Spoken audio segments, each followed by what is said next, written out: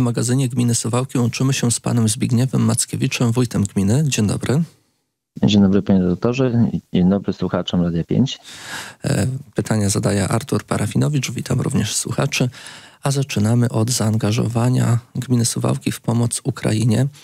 E, samorządowcy, samorząd, urzędnicy, druchowie zaangażowali się. Informowaliśmy o tym na antenie Radia 5 również. Jak to wyglądało?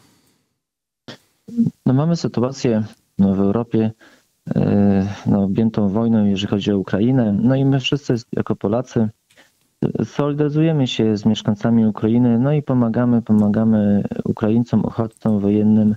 My jako gmina zaangażowaliśmy się w pomoc. E, no, poszło to wielotorowo, gdyż no, na samym początku no, zaczęliśmy robić, organizować zbiórki. Zbiórki na bazie naszych ochotniczych straży pożarnych.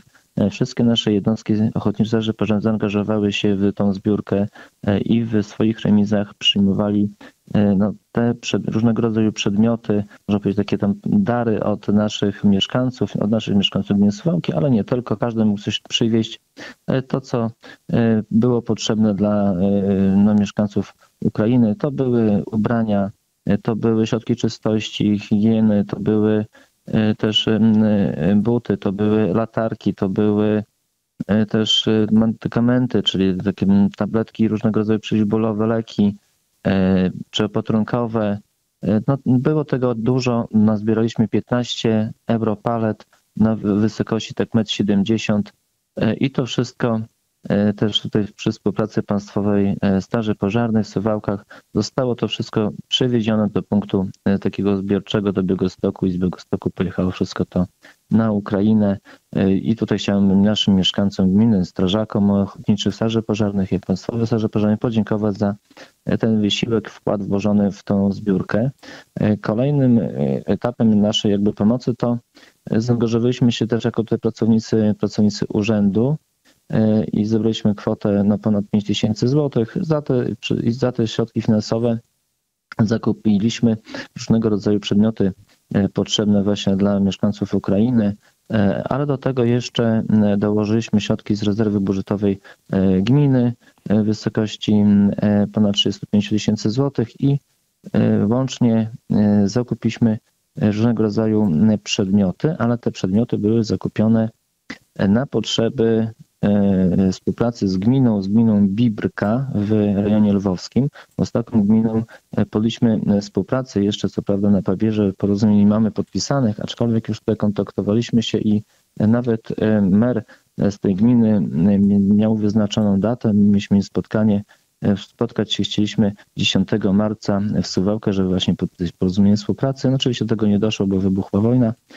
No i ta gmina poprosiło nas, żebyśmy mogli wesprzeć e, właśnie tamtejszy szpital. I my z tych środków finansowych zakupiliśmy e, sprzęt szpitalny i to był automatyczny chociażby defibrillator, e, koncentrator tlenu, aparat EKG, maski tlenowe, zestawy opatrunkowe, agregat prądotwórczy tutaj przekazał akurat nasz gminny przedsiębiorca Zielonego Kębulskiego i te wszystkie przedmioty przekazaliśmy na Ukrainę do szpitala właśnie w gminie Bibrka żeby to służyło na tamtejszej, tamtejszej ludności. E, I to zostało zawiesione, nawet sam osobiście e, to, to zawiozłem e, na granicę Chrebenne, nawet przekroczyłem granicę na Ukrainę i tamten sprzęt przekazałem już przedstawicielom gminy Bibrka, no i to pojechało, pojechało do szpitala. My jako gmina angażujemy się teraz dalej. Jeszcze oczywiście mamy e, dwa mieszkania e, takie gminne w Starym Folwarku i Zielonym Komedulskim i w tych mieszkaniach, do tych mieszkań przyjęliśmy dwie rodziny. W Starym Folwarku mamy czteroosobową rodzinę, w Zielonym Komedulskim mamy trzyosobową jest to jak w jednym przypadku i w drugim jest to mama z dziećmi, no, którzy uciekli e, od wojny i dla tych ludzi pomagamy. Daliśmy dach nad głową i oczywiście wspieramy, wspieramy cały czas e, Ukrainę e, w sensie chociażby takim, że też wydajemy e, te wszystkie urzędy w Polsce, wydajemy PESEL, nadajemy mieszkańcom z Ukrainy w chwili obecnej. Mamy wydanych już ponad 110 numerów PESEL. No oczywiście są, są zapisy, bo jednak na, no, są kolejki. Mamy dwa stanowiska do wydawania numeru PESEL. 30-40 minut zajmuje załatwienie jednej osoby, no także to wymaga, wymaga czasu, ale, ale pracujemy, zapisy, zapisujemy, no i mieszkańcy Ukrainy, którzy przychodzą, no w większości no mam na taką nadzieję, że, że wszyscy są zadowoleni właśnie z obsługi i ten numer zostaje im nadany. To uprawnia do uzyskania takiej 300 zł e, pomocy na start i 500 e, plus oczywiście na dziecko też e, dla tych rodzin przysługuje. Ja wrócę jeszcze do tego konwoju, tak to nazwijmy, na Ukrainę. Wójt w rozmowie wcześniej wspominał, że, że to było bardzo wzruszające spotkanie. No to na pewno no, pokazało, pokazało obraz, obraz granicy, obraz mieszkańców Ukrainy troszkę inny jak e, telewizja, aczkolwiek e, no, za dużo nieodbiegający. E, no, pokazało no, tragedię, tą tragedię rzeczywiście, jaką przechodzą w tej chwili mieszkańcy Ukrainy. Na granicy no, oczywiście wzmożony ruch, ludzie wyjeżdżają w różny sposób, kto jak może, z bagażami na samochodach, wypełnione samochody po dach, mm, E, też spotkałem się z takimi studentami po drugiej stronie granicy, którzy no, chcieli do Polski, chcieli do Polski, ale nie mogli e, przejechać. Mówię, no to chodźcie, was przewiozę, bo to przejście było e, samochodowe, czyli pieszo, tam nie można przejść. On mówi, nie, my czekamy na zmianę celników, bo już robimy trzecie podejście, bo nas nie chcą puścić. Dlaczego nie chcą puścić? No bo my jesteśmy studentami, no ja powinienem walczyć, a, a tutaj mówi, moja dziewczyna no, powinna do służby medycznej pójść, żeby też y, no, walczyć w wojnie, no i ale no, próbujemy, chcielibyśmy no, do Polski. No i no, także to różnego rodzaju są sytuacje, są różnego rodzaju też tragedie, bo jednak też no, ludzie tam jedni zostają, inna część rodzin przyjeżdżają przez granicę, czy kobiety cofają się, bo męża nie puszczają przez granicę, prawda, mężczyzn, no to decyzje muszą podejmować albo jechać, albo nie jechać, no są jakby, rodziny są rozłączane.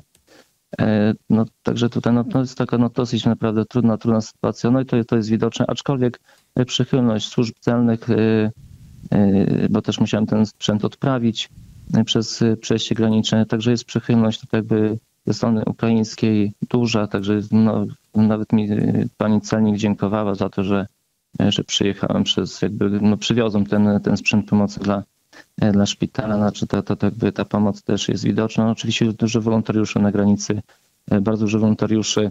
Też nawet zajechaliśmy później, żeby zobaczyć w Przemyślu, czy rzeczywiście jest taka sama sytuacja, czy to tak wygląda właśnie, jak w telewizji pokazują, że jest tak dużo Ukraińców. Pojechaliśmy do Przemyśla nawet przez, przez E, no, tego dnia zapisałem się jako wolontariusz, to prawda, tylko przez godzinę czasu, no ale mam pewne doświadczenia właśnie, e, właśnie jako wolontariusz, chociażby w Przemyśle, w punkcie takim zbiornym Ukraińców, gdzie oni byli, e, byli zapisywani do wyjazdu za granicę akurat. No i to było też dosyć ciekawe, bo koordynatorka, z którą rozmawiałem, no to ona tylko po angielsku, to nawet nie była Polka, autobusów na parkingu o różnych numerach. Dania, Francja, e, Finlandia, Wielka Brytania, Portugalia, Hiszpania. Także każdy z tych Ukraińców mógł też wybrać, gdzie chce jechać. Zapisywali się na, to, na, na ten przejazd. Autobusy stały przygotowane już na, na placu. No i w tej hali, w hali po byłej galerii w Przemyślu, no rzeczywiście Ukraińców to było, było dużo, ale, ale wolontariuszy też dużo, Polaków też między innymi, ale właśnie też zaangażowanie ludzi z całej Europy, można powiedzieć. Także to, jest, to są takie na przeżycia na które na pewno zostaną na długo. Tyle na temat Ukrainy. Tymczasem e, sprawy bieżące. Samorząd nagrodził zasłużonych e, sportowców. Do kogo trafiły nagrody wyróżnienia? No, w, w, dniu wczorajszym mieliśmy taką uroczystą sesję, można by powiedzieć, bo chcieliśmy wynagrodzić naszych sportowców, wynagrodzić nagrodami finansowymi tych sportowców, którzy osiąg mieli osiągnięcia, największe osiągnięcia w ubiegłym roku. I mieliśmy E, no, kilkanaście osób, które, którym chcieliśmy właśnie takie nagrody przyznać. Jedna nagroda była zbiorowa w, e, w dziedzinie kultury, to otrzymał zespół SOMUS z Gminnego Ośrodka Kultury, e, a osoby indywidualne otrzymały w kategoriach chociażby szachy. Mamy wicemistrzów województwa podlaskiego w szachach z Nowej Wsi.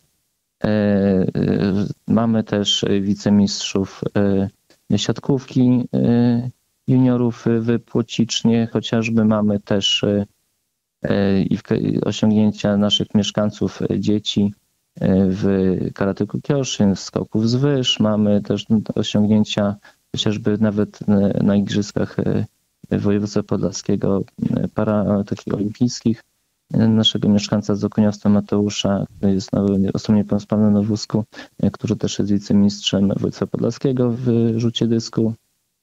Także to był taki bardzo też ciekawy wczorajszy dzień, że mogliśmy właśnie z tymi sportowcami się spotkać, dać, przekazać no, jakby tak podziękowanie, gratulacje i nagrodę finansową. No oczywiście to ma służyć też, żeby te osiągnięcia sportowe były coraz lepsze i motywowało to do dalszej ciężkiej pracy naszym, naszym sportowcom, naszym, naszym mieszkańcom gminy. Wczoraj samorząd nagrodził zasłużonych sportowców. Wczoraj też pan wójt odebrał symboliczny czek na dofinansowanie zakupu autobusu, który przekazała gminie pani Wiesława Burnos, wicemarszałek województwa podlaskiego. Tak, w dniu wczorajszym no, miałem taką przyjemność otrzymanie dofinansowania z rok pani marszałek w kwocie 750 zł na zakup autobusu, nowego autobusu do wożenia dzieci do szkoły w Przebrodzie. Przypomnę, że autobus dowożący obecnie dzieci do Przebrodu jest to autobus 20-letni, już po podłodze, e, no dziury jeszcze, dziury jeszcze nie ma, ale niewiele brakuje. No wysłużony autobus e, po drogach jeszcze wcześniej, kiedy 20 lat temu on wyjeżdżał na drogi, nie mieliśmy tyle dróg wyasfaltowanych. E, teraz też nie wszystkie jeszcze mamy wyasfaltowane częściowo, jeśli też po drogach jeszcze obecnie szlutowych, żwirowych.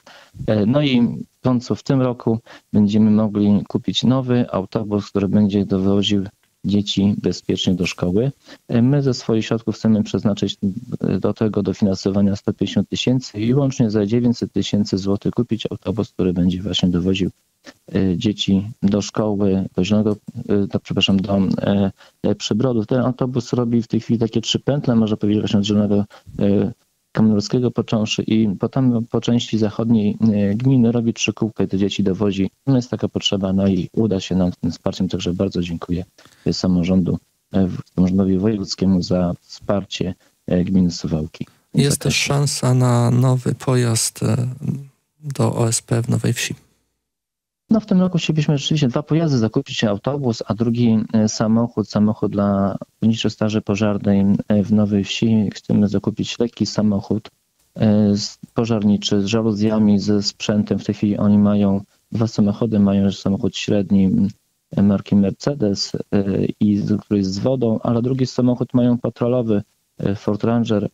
Ten samochód no, jest patrolowy do zdarzeń, do takich wyjazdów na różnego rodzaju zdarzenia, czy drogowe, czy do pożaru, no on gdyby y, no nie ma na sobie wyposażenia, bo to jest taki mały samochód mm, niewyposażony i on jakby też do końca nie spełniał swojej roli w sensie e, ratowania czy ludzi, czy ratowania mienia. E, I tutaj otrzymaliśmy również dofinansowanie na zakup tego samochodu w wysokości na dzień dzisiejszy 250 tysięcy. Staramy się kolejne jeszcze 100 tysięcy.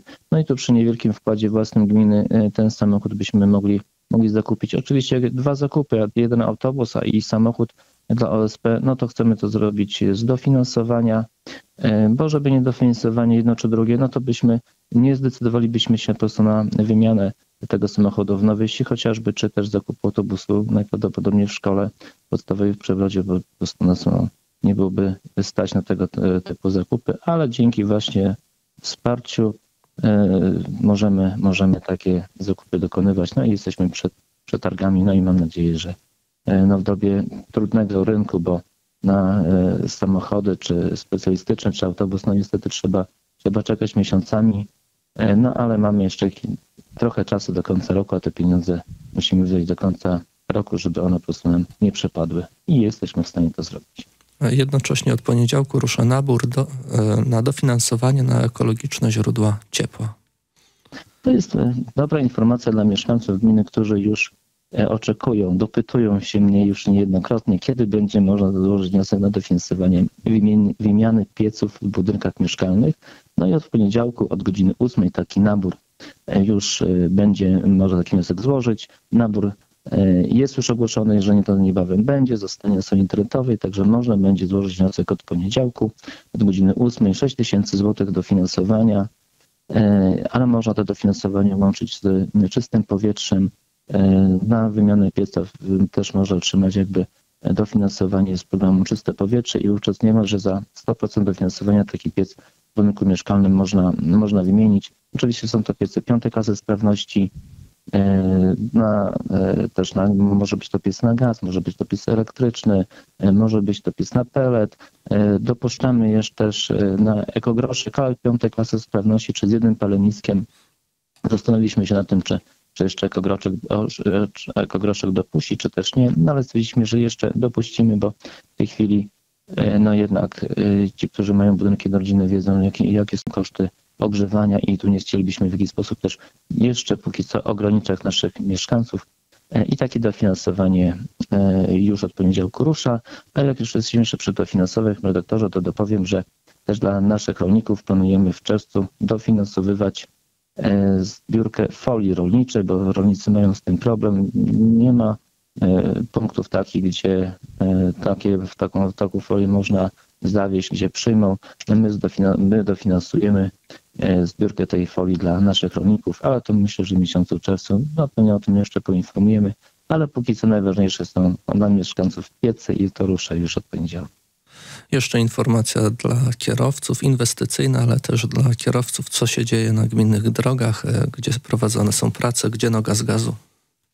No tak, pokrótce, e, szybciutko postaram się tak przypomnieć, jakie inwestycje są w trakcie. Właśnie to budowa drogi przez wieś Korkliny, Korkliny, Kuków Folwark, e, to jest, mamy tam termin do 5 lipca, w tej chwili tam trwają prace drogowe, kolejne utrudnienia są w Okuniowcu, tam przebudujemy, przebudujemy drogę e, na drogę ze Szutrowie asfaltową, e, to sierpnia termin wykonania.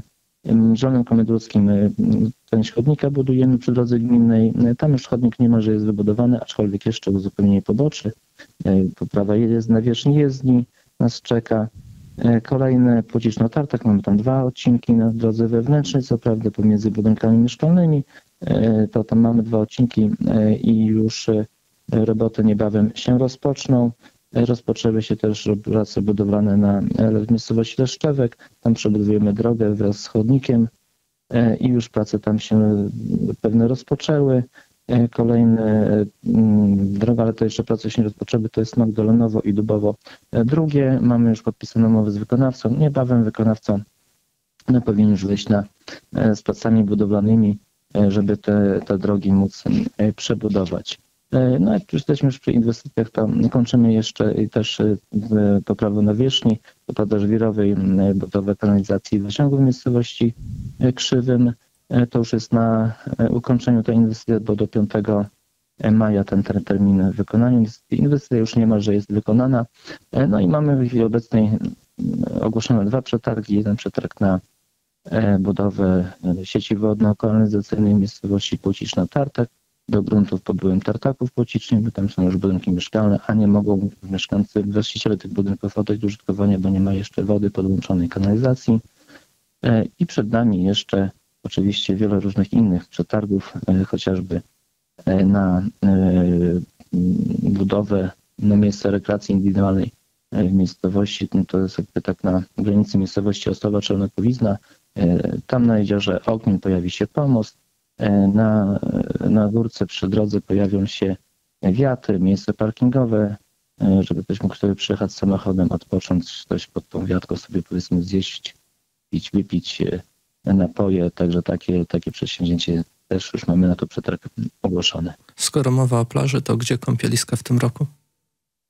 Przygotowujemy się już do kąpielisk i tak jak w ubiegłym roku chcemy mieć e, dwa kąpieliska. Jedno kąpielisko to przy współpracy z PTTK w Starym Folwarku i tam chcemy, żeby to kąpielisko było 25 czerwca, nie może do końca sierpnia.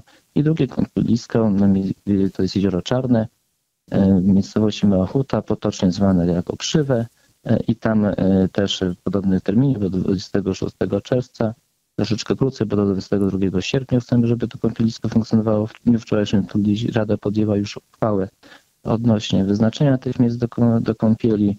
E, no i no już będziemy mogli no, szukać ratowników, osób, które tam będą swoją pracę wykonywali.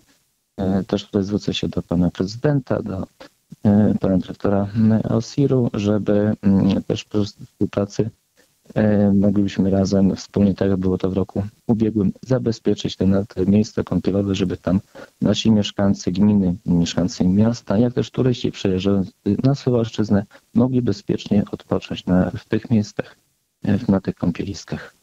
I kończąc y, obostrzenia pandemiczne już praktycznie nie obowiązują, e, tylko nieliczne pozostałe. Jakie imprezy szykują się w tym roku?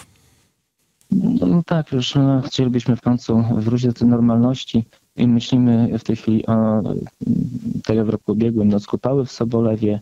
Myślimy również o organizacji e, dożynek e, w miesiącu sierpniu. No i w okresie letnim na pewno jeden bądź dwa, czy większe, czy mniejsze festyny w Starym Folwarku na pewno chcemy zorganizować to z takich powiedzmy no, troszkę większych imprez. No i już tutaj już przygotowujemy się już w sensie takim, że no musimy zarezerwować osoby, które, artystów, którzy tam będą występowali, tak by te gwiazdy, no z nimi musimy jak dużo wcześniej już podjąć dyskusję, podpisać umowy, zarezerwować powiedzmy no, poszczególne te terminy, żebyśmy mogli te imprezy przeprowadzić. No oczywiście zobaczymy w trakcie, no będą jeszcze pewnie jakieś inne mniejsze imprezy, no to czekamy na inicjatywy różnych organizacji, czy też naszych mieszkańców, no bo czasami takie organizowaliśmy imprezy w danej miejscowości, gdzie przychodzili mieszkańcy danej miejscowości, przy naszym jakimś tam niewielkim udziale